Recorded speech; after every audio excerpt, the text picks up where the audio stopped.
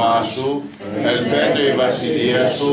γεννηθήτω το θέλημά σου, ως εν ουρανό και επί της γης, των άρτων ημών των επιούσιων, δώσει μην σήμερον, και άφηση μην τα οφειλήματα ημών, ως εμείς αφήρμε τους οφειλέτες ημών, και μη ενέχεις ημάς εις πειρασμών, αλλά ρίξε ημάς από το πολιού.